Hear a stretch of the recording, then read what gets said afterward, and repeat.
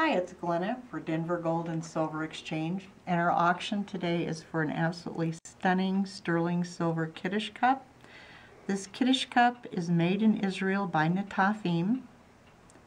It holds approximately 6 ounces of liquid. The stem of the goblet features curling grape leaves. We have a beautiful bead design around the base of the Kiddush cup. This cup is 176 grams of sterling silver. It stands just over six inches tall. The interior of the cup is a beautiful gold wash and the bottom of it is stamped sterling by Netafim. Absolutely a beautiful piece.